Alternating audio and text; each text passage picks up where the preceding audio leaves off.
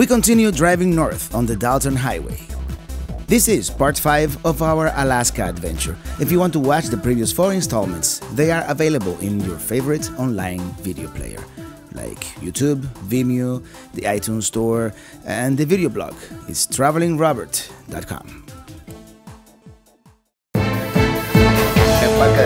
From Dusseldorf, Germany. The Grand Canyon, Disney World.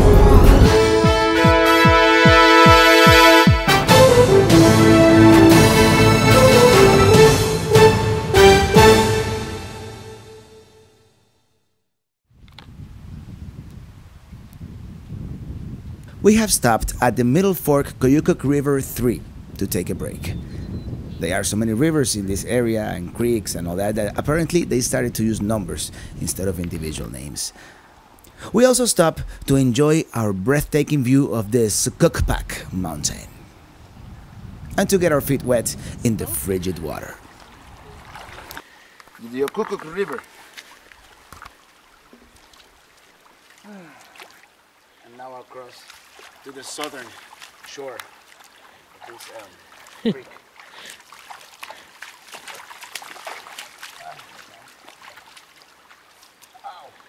We continue due north on the Dalton.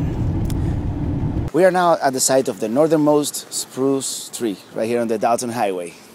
Due to the weather, there are virtually no trees north of this point. Not enough uh, sunlight for photosynthesis, I guess. Uh, the 273 year old tree was killed by a vandal in 2004. Some people, I tell you. From this point on, the only way is up, all the way to the Atigun Pass, the highest point in the highway. We are on the Chandler Shelf in the North Brooks Range.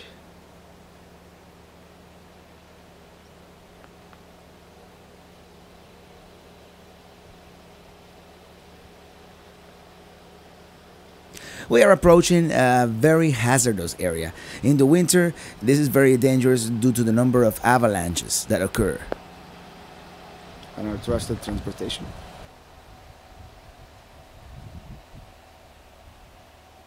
The DOT, Alaska's Department of Transportation, uh, they actually have artillery guns that they actually fire towards the mountains to produce avalanches. And that way they prevent spontaneous avalanches from happening and killing truckers we finally see snow up close. Here we are at the beginning of the Atigun Pass. We have almost reached the top of Atigun Pass. Rivers north of here flow north, and south of here, south. Snow is right there, it's within walking distance. Unbelievable. And we keep going upwards. We encounter a family of Dall sheep. At the highest point in the Atigun Pass. For the first time in our trip, we see rather large animals. Those are the baby dogs. Scared by the sound of our engine, they climb off their rocky cliff. This seemingly difficult task is daily life for the Dall sheep. They actually make it look easy. Sometimes it looks like they are on the verge of sliding down.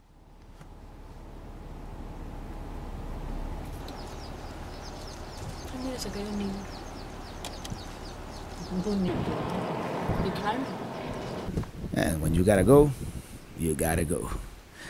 And when you gotta eat, well, you find some grass. Indecisive of where to step next, it thinks about it for a second and then goes. This one is in the mood for some exercise, apparently.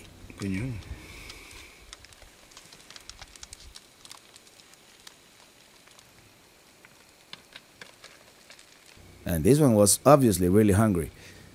Look at this guy.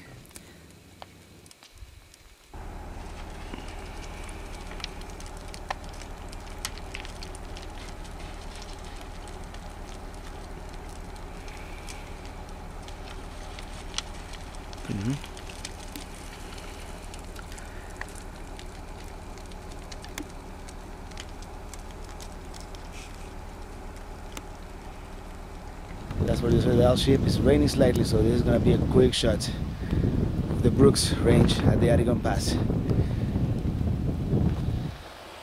Going back in.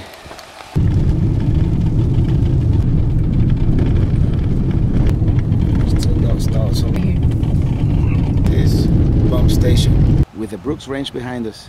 We now enter the North Slope.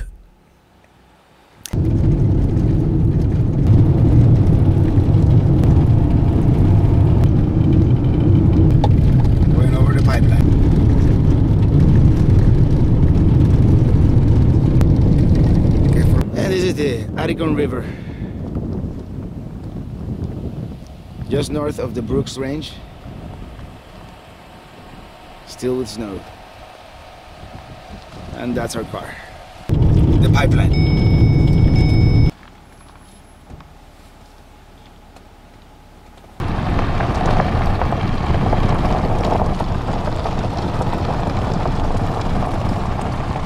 We are headed to Galbraith Lake Camp for another quick pit stop. And in an effort to get close to the lake, uh, we go into these paths, but all we see are some people camping.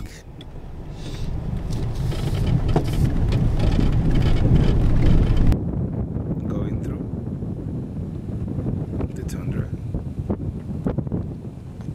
I see some mountains to the east.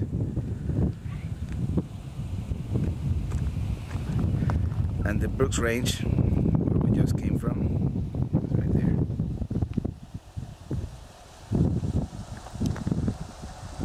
As we have arrived to the tundra, land of permafrost and no large plants.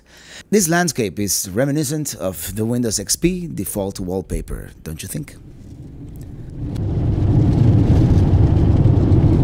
This is the tundra. These are probably doors.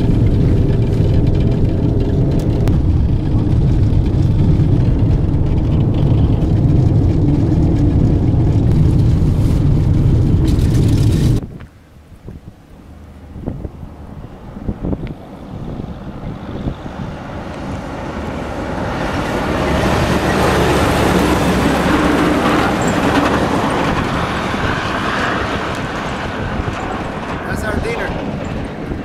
Food Services of America. The road conditions deteriorate greatly in this area.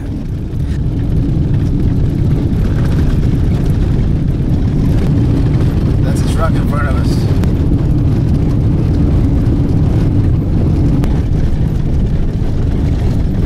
Road conditions are bad.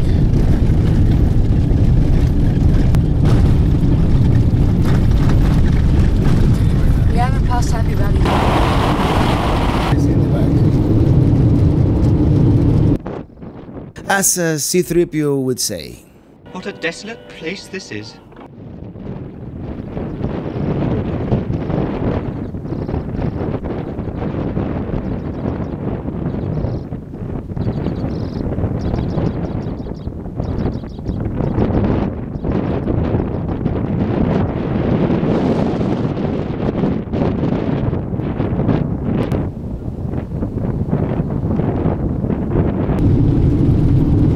Some people actually cycle all the way up here.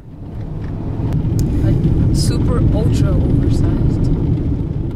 Yes, we encounter a very large oversized load. Is that a house? I don't know. Eventually, we are allowed to pass.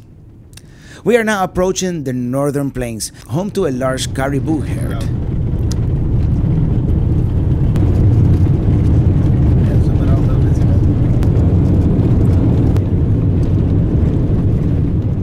And there is one caribou crossing the road.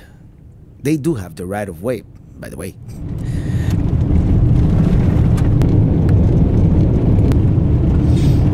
These are the Franklin Bluffs, these rather interesting hills. Getting closer and closer to our destination, we can finally see it in the horizon, and after nearly 500 miles and over 14 hours, we have reached the end of the Dalton Highway, described as an anticlimactic dystopia by Lonely Planet and as a company town by Wiki Travel. I think they both may be right. But more of that in part 6, when we go all the way to the frigid waters of the Arctic Ocean. Stay tuned. We have arrived. Arctic Caribou Inn, 8:54 p.m.